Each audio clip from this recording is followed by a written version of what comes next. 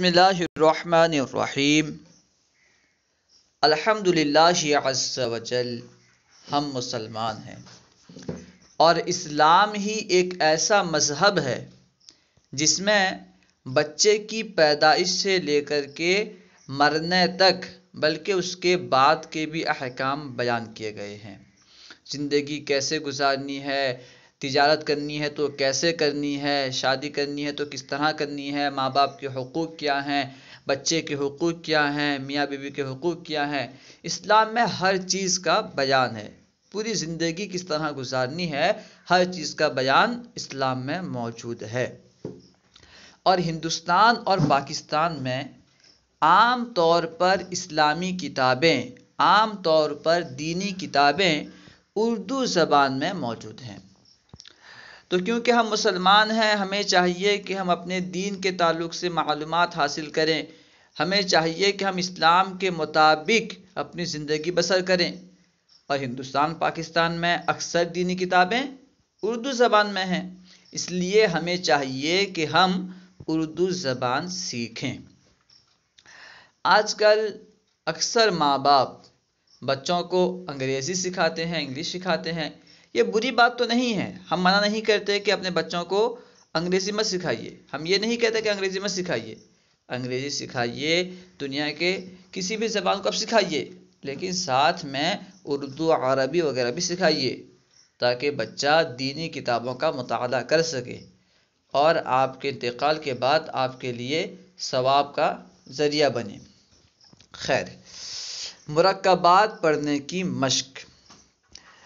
हरूफ को अगर एक एक करके लिखा जाए ना, उसे कहते हैं मुफरत अलग अलग हर्फ तो उसे कहेंगे मुफरत जब मिलाकर लिखा जाता है, उसे कहते हैं मुरक्कब, और मुरक्कब की जमा है मुरक्कबात, ठीक है? जेल के फ़िक्रे बच्चों से रवा पढ़ाते हुए सुनिए। यानी यहाँ नीचे जो है, इसे रवा पढ़ना है, हिज्जे नहीं करना है, ठीक है? जैसे लाना, इसको हिज्जे करके लाम, अलिफ, ज़बर, ला, नून, अलिफ, ज़बर, ना, इस तरह नहीं पढ़ना है, बल्कि लाना, आना, दाता। ठीक है? लाना, आना, दाता। हारा, आरा, काला। जाला। लाना, आना, दाता, हारा, आरा, काला, जाला। अब देखिए उसके नीचे वाले सत्र में। आटा, लाता, पाता, गाना। तागा, काटा, लाया। आटा, लाता, पाला, गाना, तागा, काटा, लाया। उसके बाद देखिए, काना। काना, राजा, उजला, तागा, मारा, आजा, बाबा। अब फिर एक मतबा देखिए। लाना, आना, दाता, हारा, आरा, काला, जाला। आटा ताला, पाला, गाना, तागा, काटा, लाया। काना, राजा, उजला, तागा, मारा, आजा, बाबा।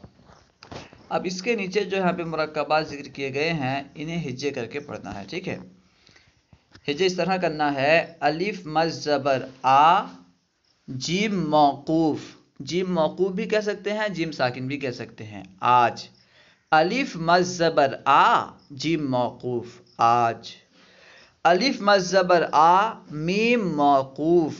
आम, अलिफ मजबर आ, पे मौकूफ। आप, चे अलिफ ज़बर चा, रे मौकूफ। चार, बे अलिफ ज़बर बा, ते मौकूफ। बात मौकूफ़ कहें या साकिन कहें, चलेगा, ठीक है? यानी जिस सर पर कोई हरकत ना हो, उसे मौकूफ़ या साकिन कह, कहते हैं, ठीक है? अलिफ मजबर आ, जिम मौकूफ़, आज, अलिफ मजबर आ, मिम मौकूफ़, आम, अलिफ मजबर आ, पे मौकूफ़, आप, चे अलिफ ज़बर चा, रे मौकूफ़, चार, बे अलिफ ज़बर बा, ते मौकूफ़, बात। बे अलिफ ज़बर बा, पे मौकूफ़ बाप बे अलिफ ज़बर बा पे मौकूफ़ बाप, जिम अलिफ ज़बर जा, नून मौकूफ़ जान, ते अलिफ ज़बर ता, रे मौकूफ़ या रे साकिन तार। जीम अलिफ ज़बर जा, लाम मौकूफ जाल।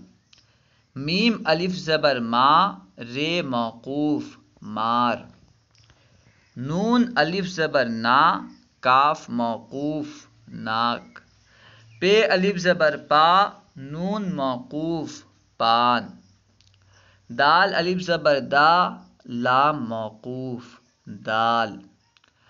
त्वे अलिफ ज़बर ता, कौफ मौकूफ ताक। हे अलिफ ज़बर हा, रे मौकूफ हार। सीन अलिफ ज़बर सा, गाफ मौकूफ साग। काफ अलिफ ज़बर का, टे मौकूफ। काट शीन अलिफ ज़बर शाह हे मौकूफ शाह दाल अलिफ ज़बर दा गाइन मौकूफ दाग काफ अलिफ ज़बर का नून मौकूफ कान अब आइए एक मतलब इसे रवा पढ़ लेते हैं। आज आम, आप, चार, बात। बाप, जान, तार, जाल मार। नाक, पान, दाल, ताक, हार। साग, काट, शाह, दाग, कान। अब इसके बाद जो है, इसे रवा पढ़ना है, ठीक है? दाम। हिजे किस तरह करना है? आपको मालूम होगा, दाल, अलिफ ज़बर दा मौकूफ, दाम, ठीक है? दाम, मान नाम बाग सात। दाम मान नाम बाग सात। रब का नाम रट। रब का नाम रट। रब का नाम रट। दादा जान। दादा जान। दादा जान। बात मान। बात मान। सात आम दे। इसे दी नहीं पढ़ना है, दे पढ़ना है, ठीक है? सात आम दे। सात आम दे। काला दाग। काला दाग। राजा का बाग। राजा का राजा का बाग। जाड़ा आया जाड़ा आया। आटा लाया आटा लाया। दाम पाया दाम पाया। रब का नाम रट, दादा जान, बात मान, सात आम दे, काला दाग, राजा का बाग।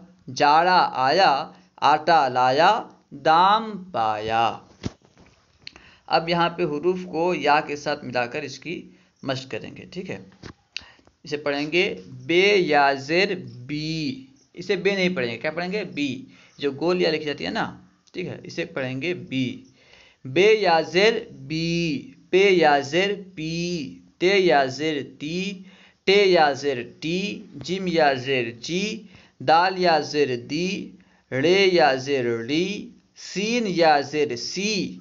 ज्वाद या जेर जी इसे अरबी में दौद पढ़ते हैं यहाँ पे दी नहीं पढ़ना है बल्कि जी पढ़ना है ठीक है गाइन या जेर गी फे या जेर फ़ी काफ या जेर की गाफ या जेर गी लाम या जेर ली मीम या जेर मी नून या जेर नी हमजा या जेर ई हे या जेर ई हे या जेर ही ठीक है बी पी टी टी जी दी री सी जी गी फ़ी की घी की गी ली मी नी ई ही ठीक है? हमजा याजिर ई है याजिर ही अब देखिए, यहाँ पे जो है या के साथ जो, मिली हुई, मिला हुआ हर्फ है यानी या के साथ किस हर्फ को मिलाया गया है, और उसके पहले कोई हर्फ है। अभी जो हमने पढ़ा ना ऊपर, हेजे करके, उसकी यहाँ पे मश्क है मरकब के साथ। पानी, पे अलिफ जबर पा नुनिया नी, पानी। इस तरह हेजे करना है, लेकिन यहाँ पे जो किताब में लिखा है कि इसे हिजे करके नहीं पढ़ना है, बल्कि रवा पढ़ना है। पानी, दादी, कापी, हाजी। पानी, दादी, कापी, हाजी। बासी, खाली। पानी दादी, कापी, हाजी, बासी, खाली। राज़ी इसे राज़ी नहीं पढ़ना है, राज़ी पढ़ना है, ठीक है, राज़ी। राज़ी, गाड़ी, नानी, साड़ी, वाली, राही। राज़ी, गाड़ी, नानी, साड़ी, वाली, राही। दागी जागी, काफ़ी, बासी, पानी बासी, पानी। दादा की बात। दादा की बात। आम वाला, साग वाली। आम वाला, साग वाली। काली साड़ी काली साड़ी। नानी साग लाई, नानी साग लाई। चार गाड़ी आई, चार गाड़ी आई। और एक मतलब ऐसे पढ़ लीजिए। पान, पानी दादी कापी हाजी बासी खाली। राज़ी, गाड़ी, नानी, साड़ी, वाली, राही। दागी, जागी काफ़ी बासी, पानी। दादा की बात, आम वाला, साग वाली, काली साड़ी। नानी, साग लाई, चार गाड़ी आई। इसके बाद जो है, यहाँ गिनती है। इसको जो है, आप किताब देख करके इसे आप समझ सकते हैं। ठीक है? एक, दो, तीन, चार।